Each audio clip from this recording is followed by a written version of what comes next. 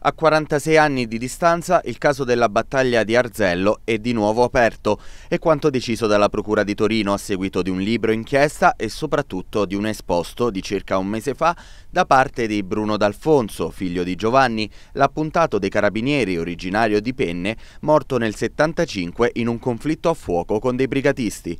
Le BR avevano sequestrato l'industriale dello spumante Vittorio Vallerino Gancia. Con i soldi del riscatto avrebbero finanziato la lotta armata. Però nella cascina nei pressi di Acquiterme, dove era tenuto l'ostaggio, si presentarono i carabinieri, per caso, secondo la storiografia ufficiale.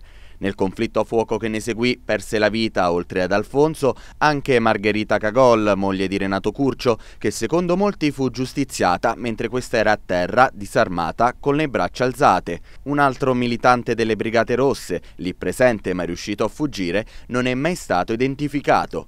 Oggi, in seguito alle intercettazioni in carcere dei cosiddetti prigionieri politici, emergono nuovi elementi. Le notizie sulle varie versioni di questa di, di, di, questo conflitto a fuoco erano sempre un po' contrastanti tra loro, quindi diverse. Ma soprattutto c'era un personaggio che è sfuggito alla giustizia, che era presente, quindi eh, un brigatista che, eh, sul, diciamo al, che, non è mai stato perseguito per, questo, per questa vicenda.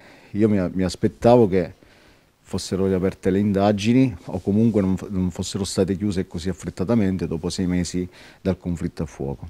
Perché secondo lei così rapidamente? Che cos'è che non torna in questa storia?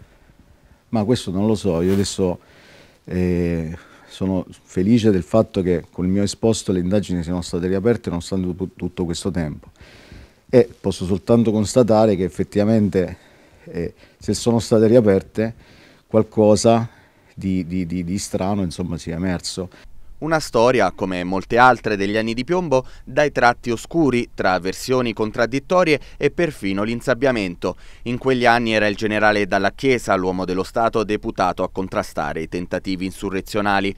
La battaglia di Arzello aprì la fase più cruenta della lotta armata, anche per vendicare la morte della Cagol.